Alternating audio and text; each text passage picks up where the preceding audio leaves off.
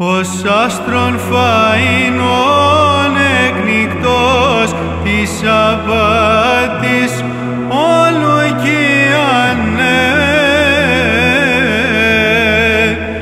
ευσεβώς αναλάμψας νομίμως ηγόνησε και των δόλιων εκτινάς πόθεν πρέσβευε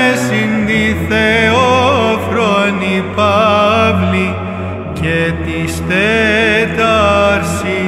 Πέσει Χριστό αθλοφόρε υπέρ των ψυχών ημών